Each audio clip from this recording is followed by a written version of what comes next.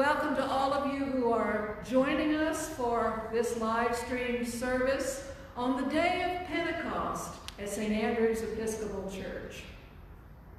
Alleluia! Christ is risen. The Lord is risen indeed. Alleluia.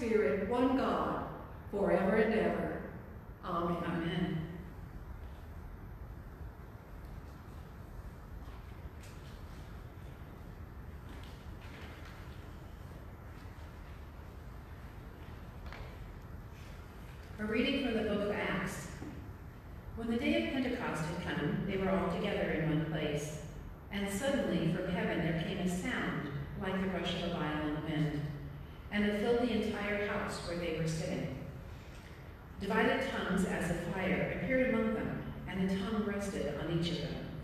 All of them were filled with the Holy Spirit and began to speak in other languages, as the Spirit gave them ability. Now there were devout Jews from every nation under heaven living in Jerusalem. And at this sound the crowd gathered and was bewildered, because each one heard them speaking in the native language of each. Amazed and astonished, they asked, Are not all those who are speaking Galileans? And how is it we hear, each of us, in our own native language? Parthians, Medes, Elamites, and the residents of Mesopotamia, Judea, Judea, Cappadocia, Pontus and Asia, Phrygia and Pamphylia, Egypt, and the parts of Libya belonging to Cyrene and visitors from Rome, both Jews and proselytes, Cretans and Arabs. In our own languages, we hear them speaking of God's deeds of power. All were amazed and perplexed, saying to one another, What does this mean? But others sneered and said, They are filled with new wine. But Peter, standing with the eleven, raised his voice and addressed them, Men of Judea and all who live in Jerusalem, let this be known to you, and listen to what I say. Indeed, these are not drunk, as you suppose, for it is only nine o'clock in the morning. No, this is what was spoken through the prophet Joel. In the last days it will be, God declares, that I will pour out my spirit upon all flesh. and your sons and daughters, and your sons and your daughters shall prophesy, and your young men shall see visions, and your old men shall dream dreams. Even upon my slaves, both men and women, in those days I will pour out my spirit, and they shall prophesy.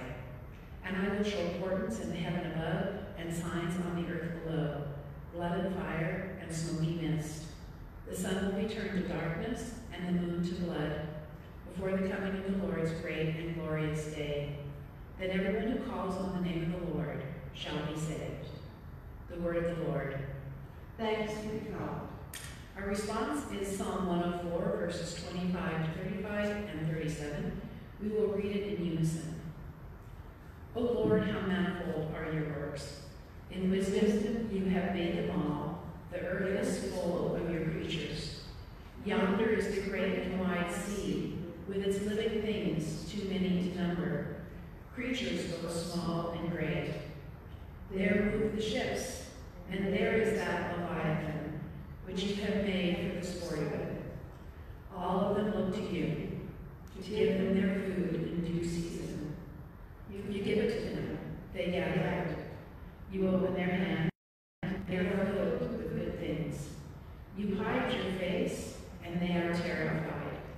You take away their breath, and they die and return to their dust.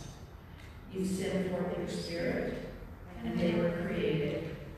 And so you renew the face of the earth. May the glory of the Lord endure forever. May the Lord rejoice in all his works. He looks at the earth and it trembles. He touches the mountains and they smoke. I will sing to the Lord as long as I live. I will praise my God while I have my being. May these words of mine please him. I will rejoice in the Lord. Bless the Lord, O my soul. Hallelujah. A reading from the first letter of Paul to the Corinthians. No one can say, Jesus is Lord, except by the Holy Spirit. Now, there are varieties of gifts, but the same Spirit. And there are varieties of services, but the same Lord. And there are varieties of activities, but it is the same God who activates all of them in everyone.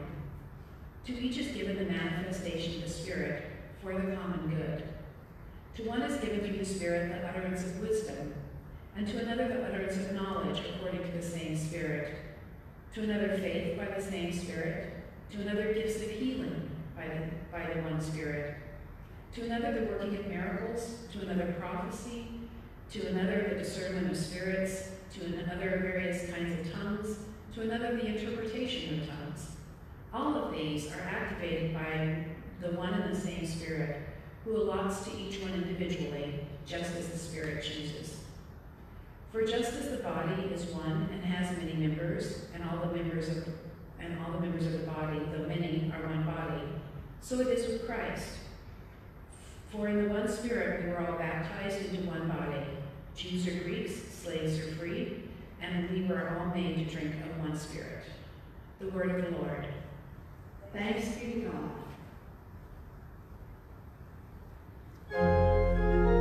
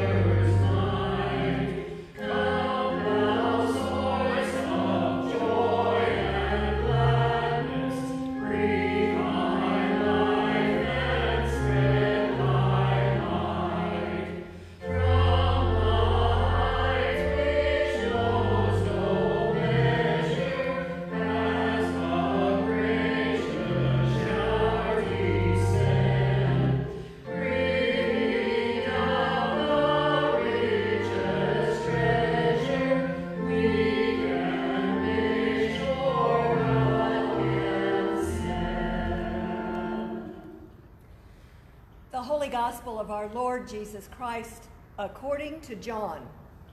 Glory to you, Lord Christ. When it was evening on that day, the first day of the week, and the doors of the house where the disciples had met were locked for fear of the Jews, Jesus came and stood among them and said, Peace be with you. After he said this, he showed them his hands and his side. Then the disciples rejoiced when they saw the Lord. Jesus said to them again, Peace be with you. As the Father has sent me, so I send you. When he had said this, he breathed on them and said to them, Receive the Holy Spirit. If you forgive the sins of any, they are forgiven them.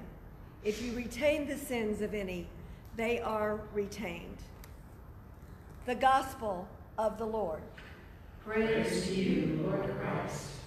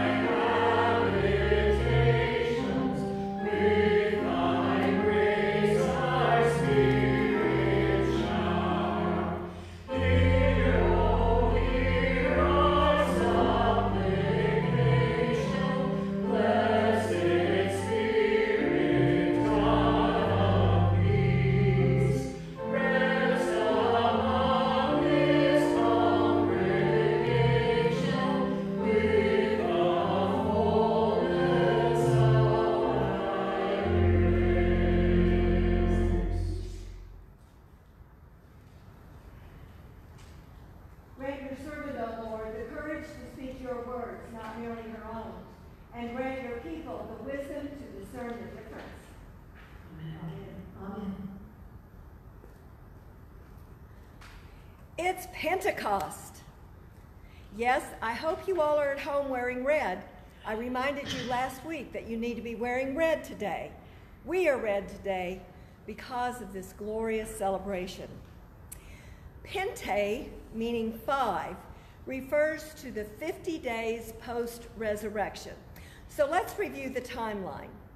We have Jesus' death, three days his resurrection, then 40 days later, his ascension, and now today, on the 50th day, we have the coming of Pentecost. Well, the disciples didn't have this timeline. They were gathered in Jerusalem and they were trying to figure out what the next step was. What is this thing that Jesus is sending them? What is the advocate? He will not leave us orphaned or comfortless but just what is it all about? You see, they didn't have the timeline that we have. They didn't know that it would only be 10 days. Unsure, alone, and bewildered. That sounds familiar, doesn't it? I suspect a lot of us are bewildered, wondering, unsure, and some of us are alone. It's a time of uncertainty, not just for the, disciples then, but for us now. Pentecost represents the breaking in of God's purpose for all humanity. That humanity bringing together in understanding despite our differences. God created us. Our highest purpose is to trust our Creator and that trust is restored in our Savior Jesus Christ. So suddenly, the entire Christian community, which in Jerusalem at that time would have been about 120 people, were gathered.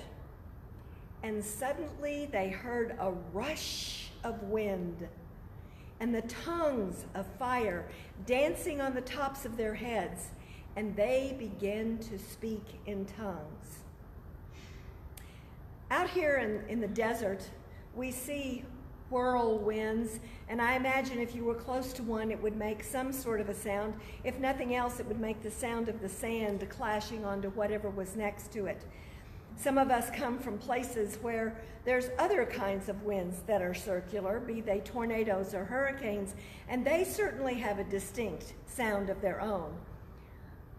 If you've ever heard a tornado, I guarantee you, you remember what it sounded like. So, this rush of wind was strange and different to the disciples. It wasn't like any wind they had ever heard before. And they began speaking in tongues. The theological word for speaking in tongues is glossolalia. When I was in sixth grade, I wrote a paper on glossolalia because there were several people in my family, my extended family, that were Pentecostal, and I did not understand what was going on. I wrote the paper, and I still didn't understand what was going on. I sure do wish I had that paper today. Today, for me, is just as mysterious as it was back then. They begin speaking in a variety of languages. Theologically, this time in Scripture and in biblical history is essentially the reversal of the Tower of Babel. You remember in the Old Testament when they were building this gigantic tower so they could see out, so they could reach into the heavens and be closer to God and see out over everything that they owned. God said, You're getting a little too big for your britches. So I am going to confound your language so that you will not be able as easily to speak to one another. Well, today we understand that it works just the opposite in our message at Pentecost.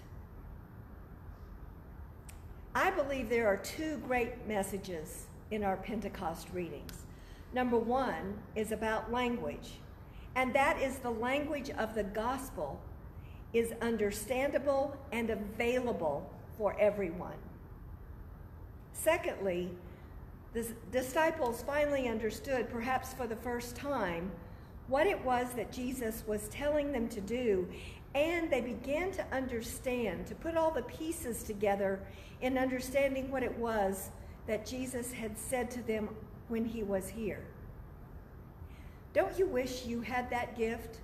That gift of the coming of the Holy Spirit that totally opened you up and gave you a complete understanding of what Jesus was meaning in all of his actions and words? These two messages are inextricably tied together. Remember, the, God, the, the disciples were just plain fishermen. They had no formal education. They didn't comprehend the nuances of Greek rhetoric. They were, however, malleable. And Jesus molded them into the people that he needed them to be. Jesus promised he would not leave them comfortless or orphaned.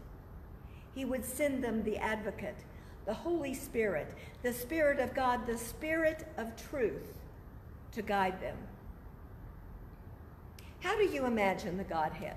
We'll talk more about that next week, but begin thinking about how you actually imagine the Godhead, the Trinity. God the Father, we understand, is a role of creator God the Son, we understand in a role of Redeemer. We know this because Jesus came and became one of us so that he was able to communicate with us. And we are able to understand the second person of the Trinity a little better. God the Holy Spirit. What is she like? Yes, I know everybody kind of chuckles when I call the Holy Spirit she, but that's the way I understand it. I believe that the Godhead is both male and female, and represented in the Trinity, the Holy Spirit is that Spirit of truth. And she is the one that comes to us and guides us. Some of what we have was given to us from our parents.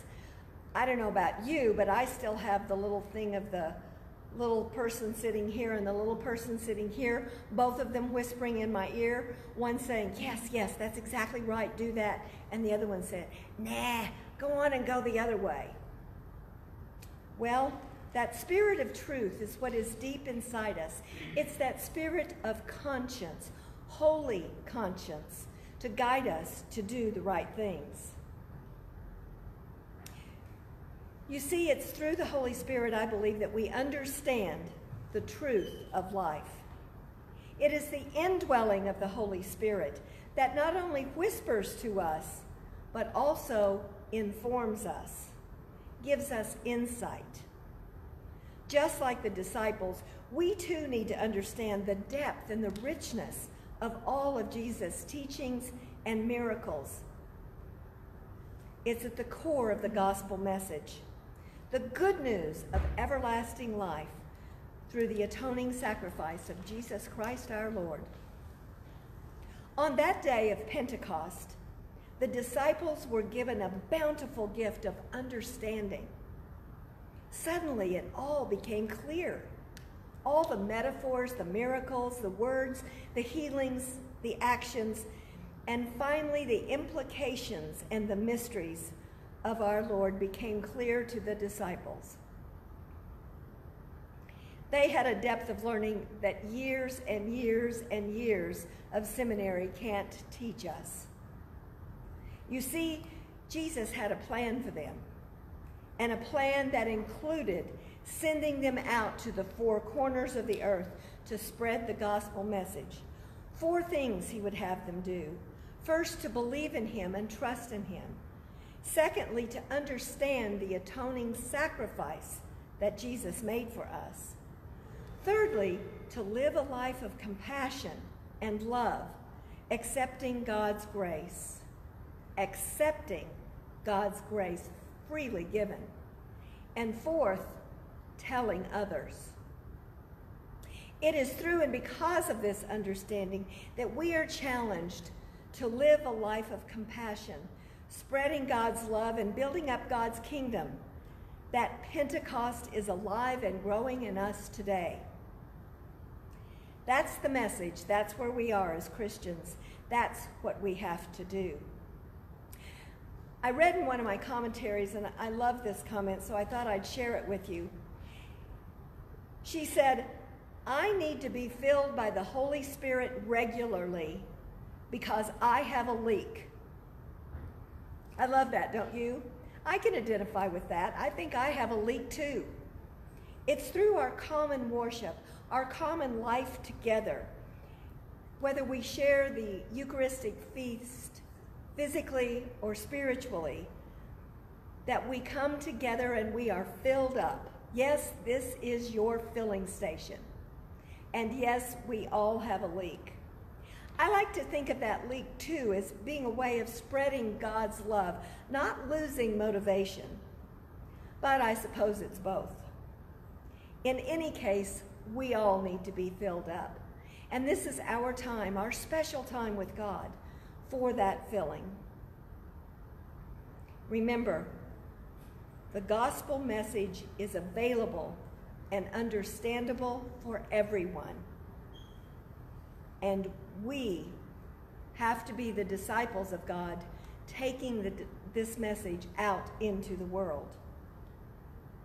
This gospel is available to everyone, and we must carry it forth to the four corners of the earth.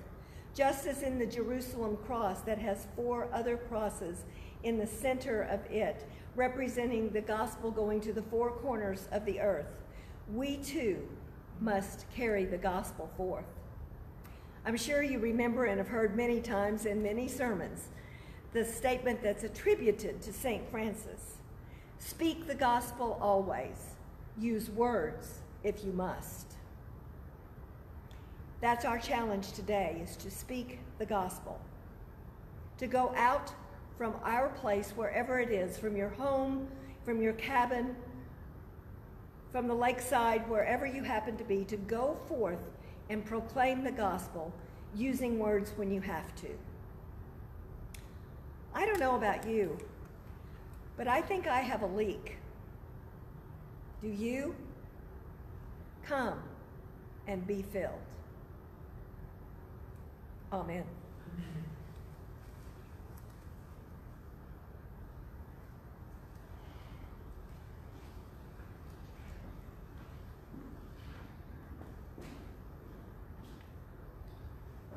Let us proclaim our faith in the words of the Nicene Creed. For those with prayer books, it is on page 358. We believe in one God, the Father, the Almighty, maker of heaven and earth, of all that is seen and unseen. We believe in one Lord Jesus Christ, the only Son of God, eternally begotten of the Father, God from God, light from light, true God from true God, begotten, not made, of one being with the Father. Through him all things were made.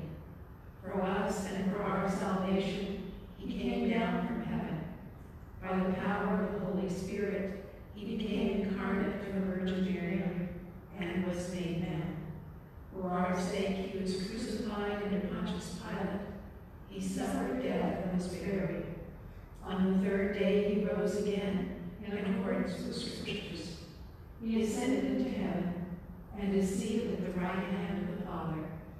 He will come again in glory to judge the living and the dead, and his kingdom will have no end.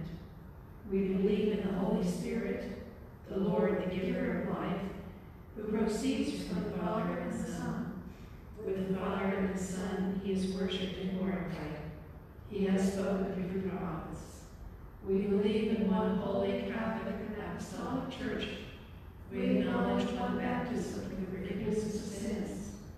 We look for the resurrection of the dead and the life of the world to come. Amen.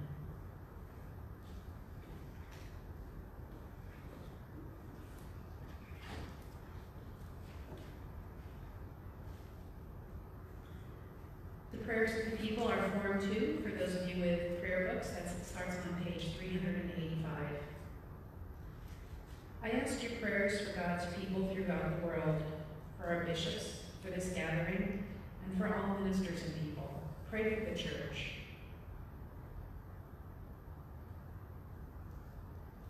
I ask your prayers for peace, for goodwill among nations, and for the well-being of all people. Pray for justice and peace. I ask your prayers for the poor, the sick, the hungry, the oppressed, and those in prison. Pray for those in any need or trouble.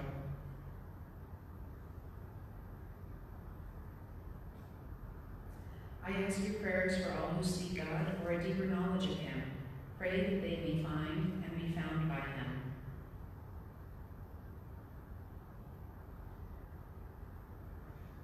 I ask your prayers for the departed. Pray for all who have died.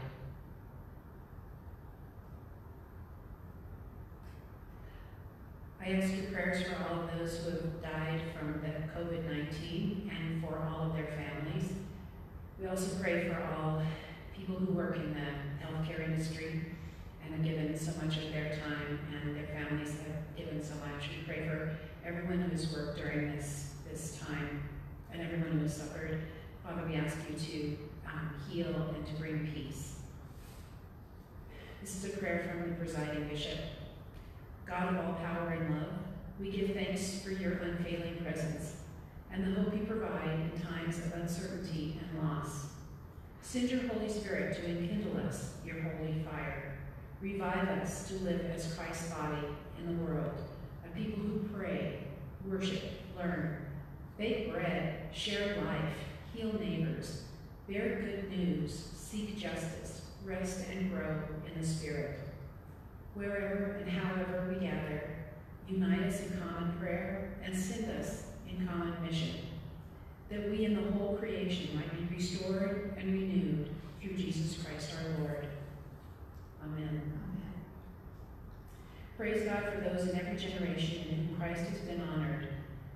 Pray that we may have grace to glorify Christ in our own day. Almighty and most merciful God, grant that by the indwelling of your Holy Spirit, we may be enlightened and strengthened for your service. Through Jesus Christ our Lord, who lives and reigns with you in the unity of the Holy Spirit, one God, now and forever. Amen. Amen.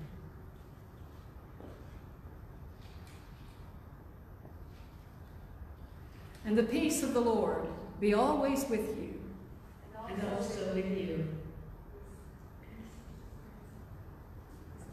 Peace, peace be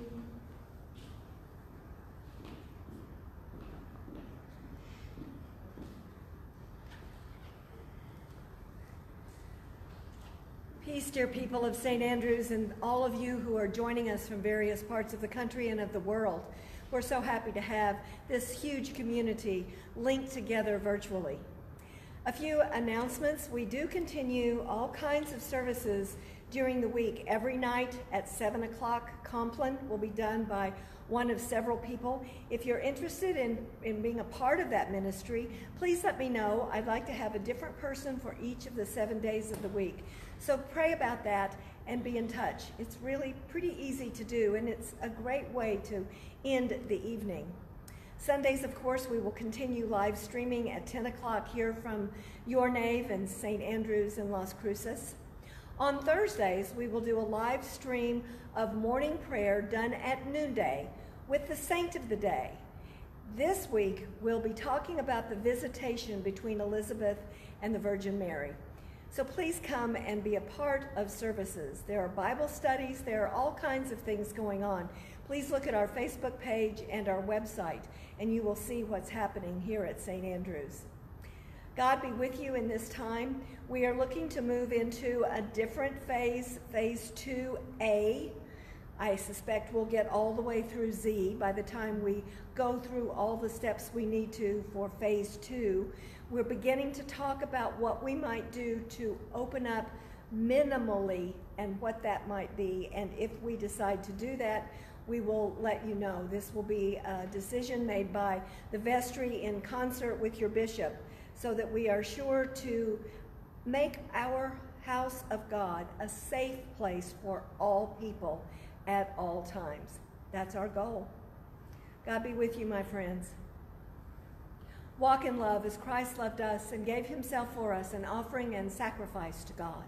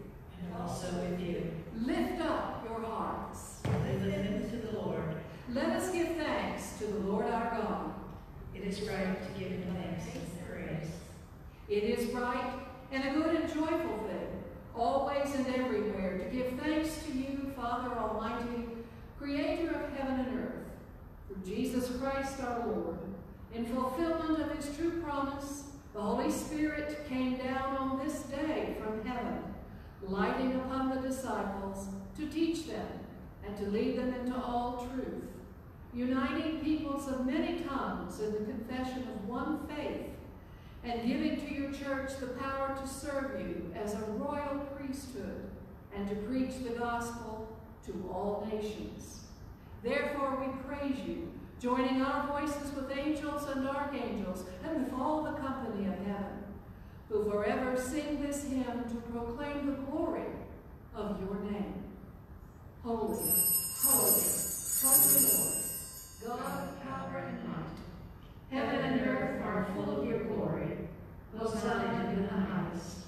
Blessed is he who comes in the name of the Lord. Hosanna in the highest.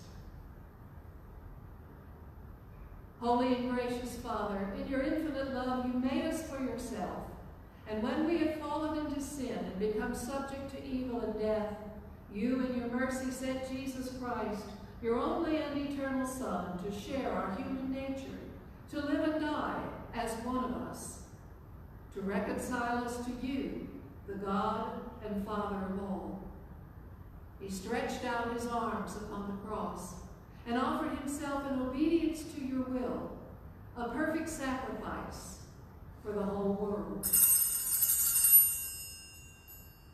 On the night he was handed over to suffering and death, our Lord Jesus Christ took bread, and when he had given thanks to you, he broke it and gave it to his disciples and said, Take, eat.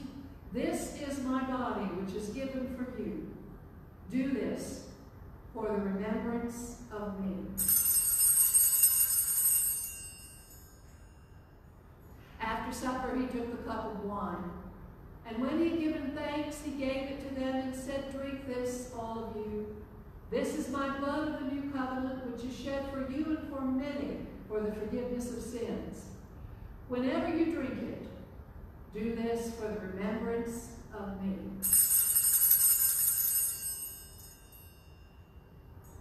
Therefore, we proclaim the mystery of faith. Christ has died.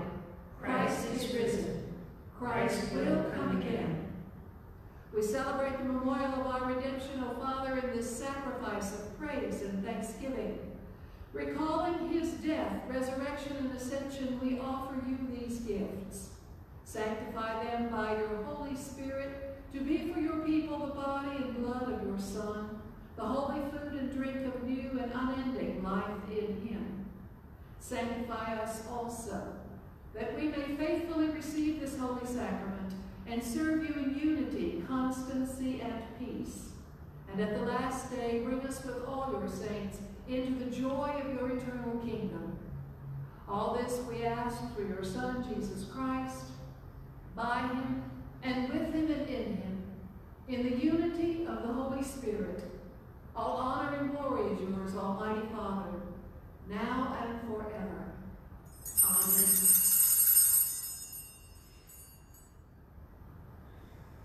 And now, as our Savior Christ has taught us, we are bold to say, Our Father, who art in heaven, hallowed be thy name. Thy kingdom come, thy will be done, on earth as it is in heaven. Give us this day our daily bread, and forgive us our trespasses, as we forgive those who trespass against us. And lead us not into temptation, but deliver us from evil. For thine is the kingdom, and the power, and the glory, forever and ever. Amen.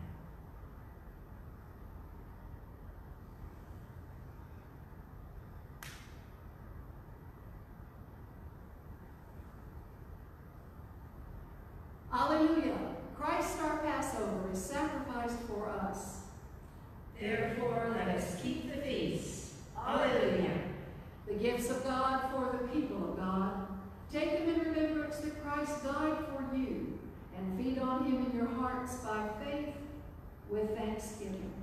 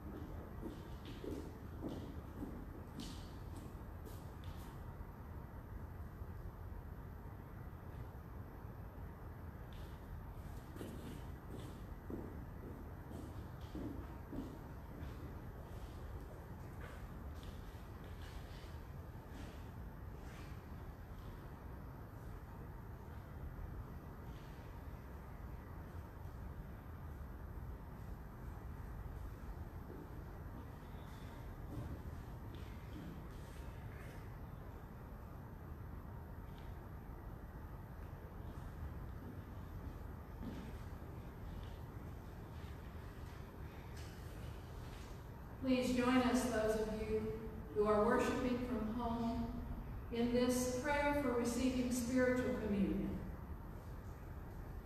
Let us pray. In union, O Lord,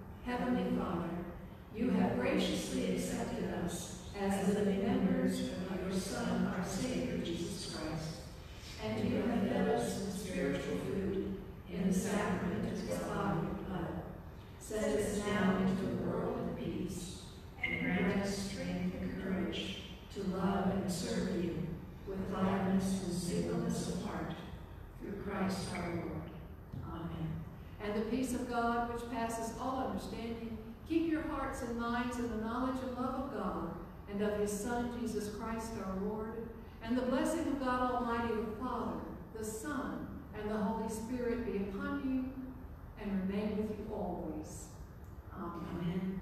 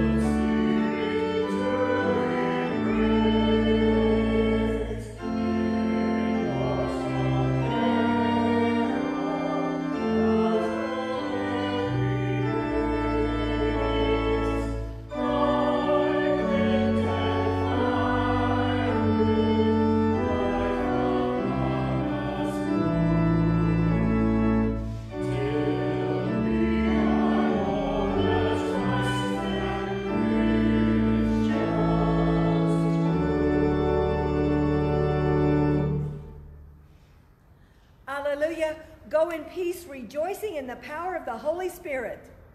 Thanks be to God. Alleluia. Alleluia.